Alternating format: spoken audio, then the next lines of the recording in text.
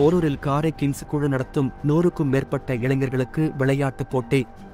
சென்னை போரூர் அருகே காரம்பாக்கம் பிரதான சாலை பகுதியில் விநாயகர் சதுர்த்தியை முன்னிட்டு இந்து முன்னணியினர் சார்பில் பாடி பில்டர் கட்டமைப்புடன் சிவன் வடிவிலான கைலாசநாதர் பிள்ளையாரை இந்து முனையினர் தற்போது வைத்துள்ளனர். இரண்டாவது நாளாக காரை கிங்ஸ் குழு நடத்தும் சிறுவர்களுக்கான விளையாட்டுப் போட்டி watermelon lemon spoon slow cycle race musical chair உரியடி போட்டி அதனைத் தொடர்ந்து வெற்றி பெற்ற வீரர்களுக்கு சிறப்பு விருந்தினராக திருமால் அழகேசன் கலந்து கொண்டு வெற்றி பெற்ற வீரர்களுக்கு பரிசையும் உரியடி போட்டியில் முதல் பரிசு இரண்டாயிரம் ரூபாய் இரண்டாம் பரிசு ஆயிரம் ரூபாய் வழங்கி விழாவில் காரை கிங்ஸ் குழுவினர்கள் சிறப்பாக வழிநடத்தினார்கள்.